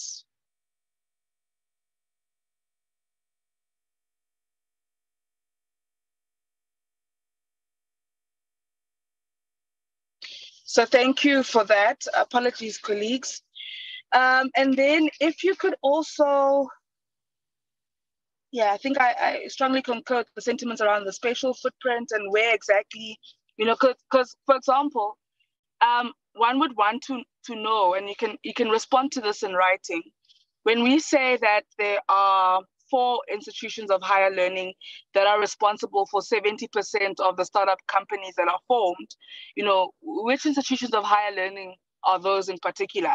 Because it would be of concern to us if we realize that it's, for example, your UPs, um, your your Wits, you know, uh, your Stellenbosch, uh, your UCT, because then in terms of the spatial footprint, then we're not achieving what we want to achieve, right? So, so that's also important for us to get an understanding on. Um, and then, uh, whilst whilst advocate um, Charsley says um, you know, they, they as as as NIPMO are not necessarily well, they they're not of the view that there is a particular contradiction between it being an enabler and it being a regulator. Um, it would be important for NIPMO to reflect on why the review panel um, identified that particular concern or challenge, right? So reflect on it and ensure that we can do away with the perception. If it's a perception, then we must work towards addressing the perception. Um, and then, of course, the committee will be interested in, in, understanding when you know the amendments to the act then will be brought to the committee, and Parliament also gets involved in, in terms of that that process. I, I mean, are we looking at the end of this year? We're looking at the start of next year. Uh, you'd be aware also that our term is coming to an end. So um, on a on a on a on an initiative of this sort, the committee would want to play an influential role, afford us the opportunity before the end of our term to, to, to leave quite a significant um, mark in, in the national system of innovation. Um, so, so, you know, we would be interested in finding out how far we are and where we then start to play a more influential role. Um, and, and then um, yeah i think we, we have an appreciation of the fact that you know in order for us to to strengthen this type of work we need to strengthen um, the higher education science technology and innovation landscape. Uh, dsi can't do it on its own. Neither can the institutions. Neither can uh, you know small business. We, we really need to work collectively um, to to achieve the type of inclusivity that we've all been reiterating. Um, so yeah, so I think that by and large brings us uh, to an end. Um, but I think we must appreciate that uh, the the IPR Act and NIPMO um, have had a positive impact on the national system of innovation. Um, and of course, there are some unintended consequences in terms of, you know, what has been identified even by the review panel uh, and then we must acknowledge the recommendations that have been put forth and um, include them in the uh, proposed amendments of the IPR Act uh, and, and make reflections and considerations on the repositioning of, of NIPMO within the national system of innovation and enhance the role of NIPMO uh, in ensuring, for example, the utilization of IP for publicly financed research and development. So I think that is by and large the sentiments of of the committee. Um, and then I think we also want to acknowledge that the uh, that in 2022, the um, Science, Technology and Innovation Indicators Report um, published by, by NACI stated that uh, changes in the levels of investment in research and development affect innovation and economic performance, and that um, reduced investments in research and development have resulted in fewer scientific publications, uh, patents granted, uh, receipts um, of, of, of um, from the sale of South African intellectual property. And so, um, you know, South Africa is ultimately not necessarily realizing the full socioeconomic gains from its research and innovation inputs. And we need to do a whole lot of work in terms of that. And I think NIPMO, uh, TIA, our colleges, our institutions, small businesses, the women and, and, and people living with disabilities um, in our various communities can contribute significantly to that. So, um, so yeah so let's continue to to to do the work that we i think have a, an appreciation of um, but it mustn't just be an appreciation of let's you know we must have impact we must make the necessary legislative changes that must be made um, we must inject the necessary resource that is uh, needed but with what we have um, and given the reflections that we have made, we must do the best that we can do. So, um, um, yeah, I think that can bring us ultimately to the end of our meeting. Um, Chairperson, we were my hand was up. Oh, sorry, sorry. I'm using my phone, so I would not have seen that. Apologies for that. Um, let me take Honorable Chirwa. I was concluding, but I'm noting that Honorable Chirwa probably lifted her hand before my conclusion. Let me take her, her hand quickly, and then we'll end our meeting officially. Honorable Chirwa.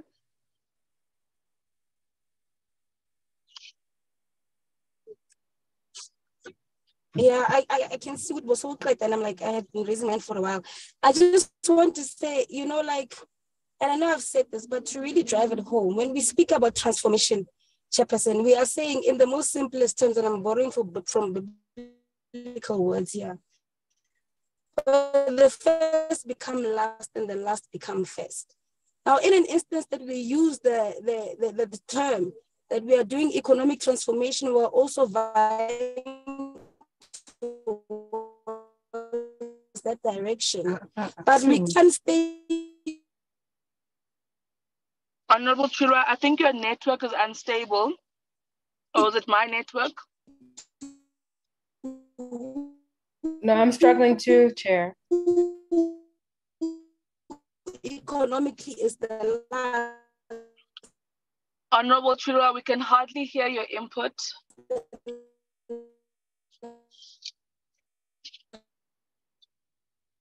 How those people have been benefited to be doing that kind of work when we can't even show the most base are black women from townships or 600 all right not fine.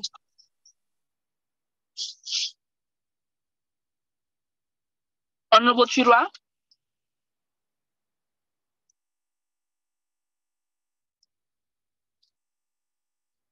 Okay i think we've lost i don't know honorable chirwa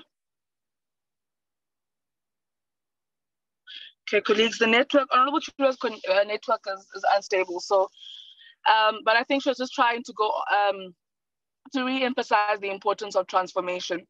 Um, with that being said, colleagues, thank you so much. And um, uh, we look forward to, our, to the responses, um, which we will request from yourselves in the next seven working days.